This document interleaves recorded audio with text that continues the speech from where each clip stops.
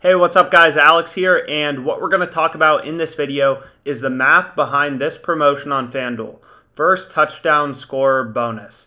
Um, so with this promotion, you place $25 on a first touchdown score in a specific game, and you get $5 in site credit for each touchdown your player's team scores. So, you know, if we bet $25 on Cooper Kupp to score the first touchdown, the Rams score four touchdowns, we get a bonus of $20 from FanDuel. They score five touchdowns, we get a bonus of $25 from FanDuel. Um, so there is the caveat that there's a maximum bonus of $25. So if the Rams score six touchdowns, we still only get $25. But for the sake of this video, we'll again just kind of ignore this maximum bonus part. Um, I also messed up. I didn't realize this was the game next week. I thought this was the Rams Titans game tomorrow. So I went through the math and the example with the Rams Titans game. So for the sake of this video, just imagine this is the Rams Titans game. And we're trying to determine okay, should we even bet this promotion? Is it even profitable? And which player should we bet on? So the first question is what team should the player, you know, be on that we're betting on? You only get $5 in credit for each touchdown your player's team scores. So in this Titans Rams game, if we bet on, you know, Cooper Kupp to score the first touchdown and the Rams score zero touchdowns and the Titans score three, our bonus from FanDuel is zero dollars. So what makes the most sense is you want to bet on the team that is more likely to win, right? If they're more likely to win, they're more likely to score more touchdowns. So you can see that the Rams are minus 300 favorites in tomorrow's game versus the Titans. So it makes sense to bet on a player from the Rams. Um, FanDuel actually even has markets for this. So here's their first touchdown score markets and odds, which we just put into this Google sheet right here. But what you can see is um, FanDuel actually has markets on how many touchdowns teams are going to score. So you can see that the Rams their projected amount of touchdowns is roughly 3.5, right? The over is over 3.5 minus 122, under 3.5 minus 104. Whereas for the Titans, it's over under 2.5. So by betting on a player from the Rams, you're expected in expectancy, you're getting an additional $5 in FanDuel because the Rams are expected to score roughly one more touchdown than the Titans are. They're the better team, right? They're minus 300 favorites. So the market is implying the Rams are going to score in average roughly 3.5 touchdowns in the game, right? Which means our expected bonus from FanDuel with $5 in site credit, you know, per touchdown that our player's team scores is um, we're expecting 3.5 touchdowns, so our expected bonus is 1750. 3.5 times 5 right? And if you were to bet on a player from the Titans, your expected bonus from FanDuel goes down to 12.5, right? So then you'd only be expecting a bonus of 1250 from FanDuel. So it does matter what player you bet on because, you know, you ideally want to bet on a player from the better team. So um, what we're going to do next is we are going to take all of FanDuel's markets, we're going to put them in this Google Sheet, and we're going to do the same thing with DraftKings. So we have the Titans Rams game. We copy all these markets. We put them into this Google sheet just so we can compare odds side by side. Um, so what you can see is Cooper Kupp, he's plus 500, and plus 500 implies a win rate of 16.7%. So to break even, betting plus 500s, you have to win roughly 16.7% of the time right? And that's just if you want to go to an odds converter calculator. So Cooper Kupp was plus 500, 16.67%, which is what you see here. Um, and this is important for determining the hold of the market, right? The juice of the market. Um, so what we can do, we put all their markets in here, FanDuel, DraftKings, we get all of the implied probabilities and we sum them up. So if we sum up the implied probabilities on FanDuel, we get, you know, 153%, whereas for DraftKings, we get 127%. Um, both of these numbers are greater than one, which means that the market has VIG, right? It has juice, juice baked into it, which makes sense. Um, so with this number, the implied, the sum of implied probabilities, we can back out the hold of the market. So it's just 1 minus 1 over the sum of implied probabilities. And for FanDuel, it turns out to be 34.7%. And for DraftKings, it's 21.2%. So what do these numbers mean? And, you know, is this a good thing or a bad thing? So the hold of the market means that betting blindly into FanDuel's market on first touchdown scores, you are expected to lose 34.7%, right? They are markets with tons of juice and tons of VIG or tons of VIG baked into them, right? These are markets that are very hard to generate a profit on because they have so much juice, right? Such a high um, VIG baked into them. And you can see FanDuel's is a lot higher than DraftKings. Um, so if you're betting first, if you just like betting first touchdown scores, you don't mind losing a little bit to the VIG, you'd much rather place your bets on DraftKings on average compared to FanDuel, just because, you know, FanDuel has a lot more juice baked into it.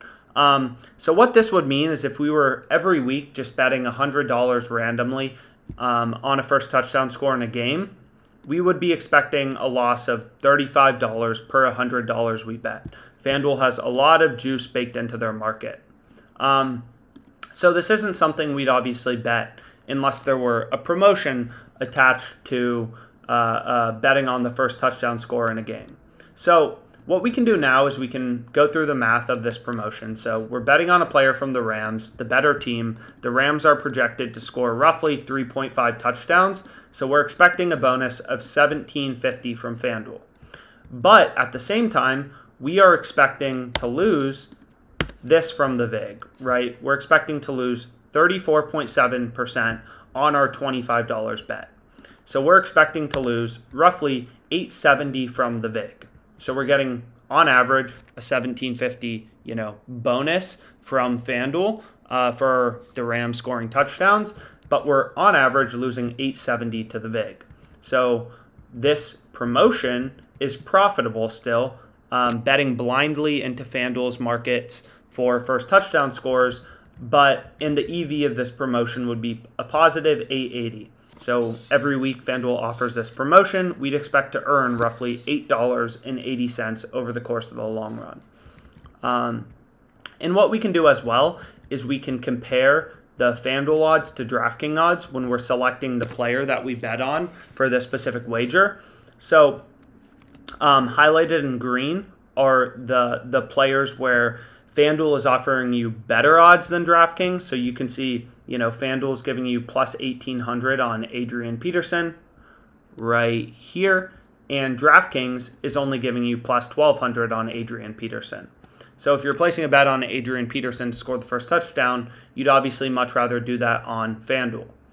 And, um, but, you know, Adrian Peterson, he's on the Titans. Same with Ryan Tannehill um, and these other players too. So these wouldn't be good bets because, again, just placing a bet on a player from the Titans, you're going to lose $5 in expected profit because your expected number of touchdowns goes down from 3.5 to 2.5 because the Titans are the worst team.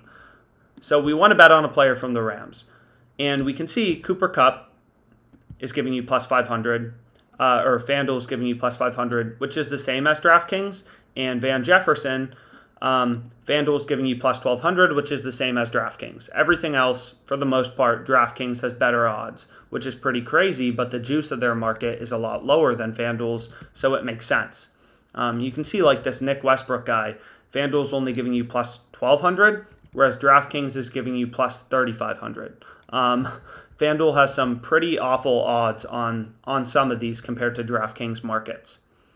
So what we can do is, you know, if this bet again, this isn't even for the the the the Rams Titans game, it's for the Rams 49ers game, but if it were for the Rams Titans game, these two players look pretty good to bet on, right? Van Jefferson's on the Rams, FanDuel's giving you the same odds as DraftKings, and Cooper Kupp is on the Rams, and FanDuel is giving you the same odds as DraftKings. So these two players would be good uh, betting spots for this specific promotion. And what we can say as well is, you know, if FanDuel is giving me the same odds on DraftKings, then the hold percentage I should use in this calculation right here should actually be DraftKings percentage, right? Because the hold of DraftKings market is only 21.22%. So if we're line shopping, right, and we're placing a bet on Cooper Kupp or Van Jefferson, where FanDuel's giving me the same odds as DraftKings, the expected profit from this promotion would actually go up to roughly, you know, 12.19, which isn't bad. Which means, you know, placing a $25 bet, you're expected to turn a profit of 12.19. So that's just the math behind um, FanDuel's promotion right here, the first TD bonus. So again, two things to really remember. First, bet on a player from the favored team. So, you know, in this Titans-Rams game, um, you would want to bet on, you know, the Rams, right? They're expected to score a whole, you know, they're expected to score one more touchdown than the Titans are, which means you're expected to get an additional $5 in bonus from FanDuel. And, you know, so if we look at the Rams 49ers game, let's see if markets have been posted. So the Rams are favorites against the 49ers. So again, you know, it looks like next week, barring no changes, you would prefer to bet a player from the Rams in this specific game. Um, and then the second thing is just line shop, right? You want to make sure you're not getting a terrible price. Nick Westbrook, like nothing is worse than placing a bet at plus 1200 odds when you realize you could have clicked a tab away and gotten plus 3500 on DraftKings. So, line shop, right? Make sure you're getting at least as good of odds as other sports books.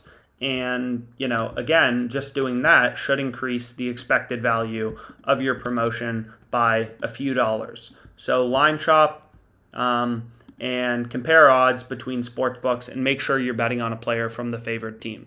So I hope you found this video helpful. If you if you have any questions about the math, you can put it in the comments. And thanks so much for your time.